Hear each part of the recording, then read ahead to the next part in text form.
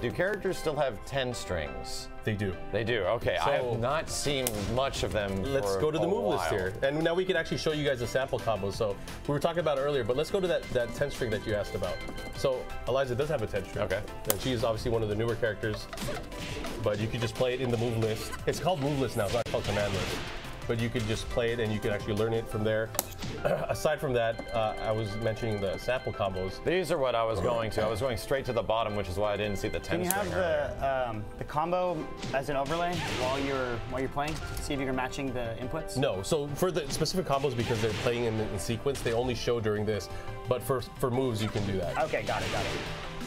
So that shows the, the first sample combo, but then you could go to a more advanced combo, which uh, this one uh, requires a bit more dexterity with your fingers. And then you even have combos with a Rage Art and a, a combo with a Rage Drive. Yeah, both for Oh, wow. and Jin, the ones I did see, they, they have a couple examples that end in, in Rage Arts. That's awesome. Yeah, so every character has a combo with the Rage Art that you can learn through the through the move list. And if the character has a Rage Drive, uh, every character has a Rage Drive except for Eliza and Akuma. They have a super meter, so they have super moves.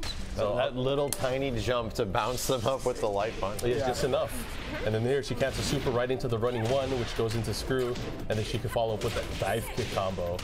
That's some fancy looking stuff. Yeah, it's pretty cool stuff. so But she hasn't been playable in the arcade version. She is No. limited to the con- Console, Gotcha. console exclusive. Cool. So, um, and I think we're almost about wrapped it up. But before we do that, I want to make sure we give away the second pair of Gunnars. Um, so I'm gonna roll